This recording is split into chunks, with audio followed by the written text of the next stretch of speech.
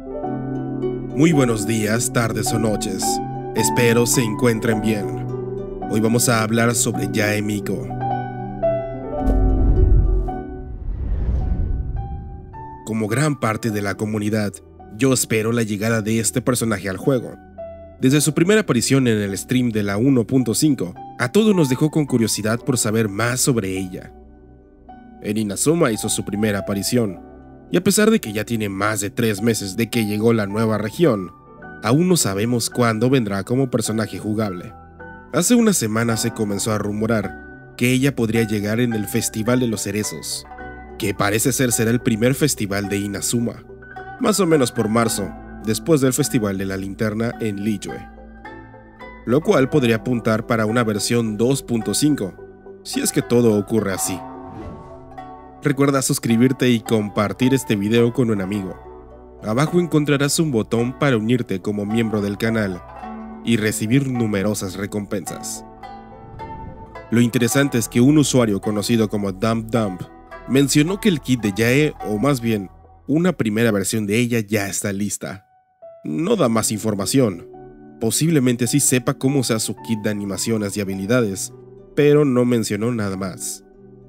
Como siempre, te dejaré la fuente en el comentario fijado y en la descripción del video. Por otro lado, lo único que tenemos confirmado es su elemento, Electro, y muy posiblemente, ella termina utilizando catalizador o libro. ¿Te imaginas cómo será su set de habilidades o movimientos? Sería interesante que la animación de su Ultimate se transforme en un kitsune, o aparezca un kitsune, o se transforme en un zorro o algo así. Mucho tiempo atrás también se rumoraba que ella sería bastante fuerte en lo que refiere a daño, que estaría al nivel de Ganyu, y la verdad, estos siguen siendo rumores, esto no lo puedo confirmar.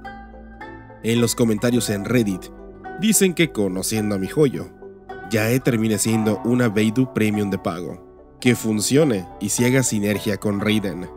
Y es que si te fijas, varios personajes de Inazuma son copias de personajes viejos, bueno, más que copias, digamos que son algo así como versiones mejoradas, entre comillas. Por ejemplo, Yoimiya y Amber, Sara y Fischl, Kokomi y Bárbara, y por último Ito y Noel. Todos ellos comparten elemento y arma. Bueno, hasta Ayaka y Kaeya. ¿Quieres que haga un video hablando sobre cómo muchos personajes de Inazuma son reciclados de personajes viejos? Deja en los comentarios. Discordia, habla sobre los personajes de Inazuma y Mondstadt. Estaré al pendiente para dejar corazoncitos. Regresando a Yaemiko, ella tiene el potencial de ser otro bestseller para mi joyo, como fue el rerun de Venti y el banner de Shogun Raiden.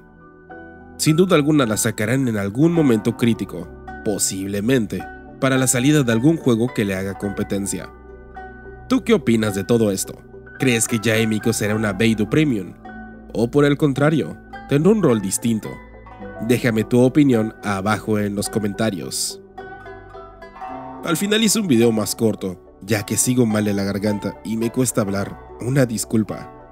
Si llegaste hasta esta parte del video, muchas gracias.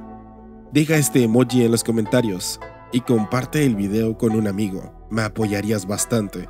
Además, será un secreto entre tú y yo. Este video ha sido posible gracias a ti. Si quieres apoyar directamente al canal, puedes convertirte en patrocinador y unirte al ejército de viajeros. Aunque no debes sentirte obligado, solo con ver, comentar o compartir los videos ya estás ayudando un montón. Pero si deseas apoyar directamente, muchísimas gracias. Recuerda suscribirte y compartir este video con un amigo. Sin más que decir, yo soy Discordia y me despido.